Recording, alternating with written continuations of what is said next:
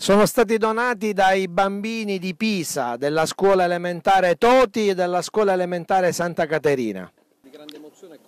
Un momento bellissimo, ringraziamo questi bambini, questi ragazzi della scuola elementare che hanno donato 232 giocattoli. Sì, noi ringraziamo ancora questi bambini e diciamo subito che i primi eh, giocattoli sono stati consegnati oggi, gli altri 230 saranno custoditi dal nostro medico eroe, il dottore Pietro Bartolo, e saranno consegnati appena eh, arriveranno altri bambini qui sull'isola di, di Lampedusa.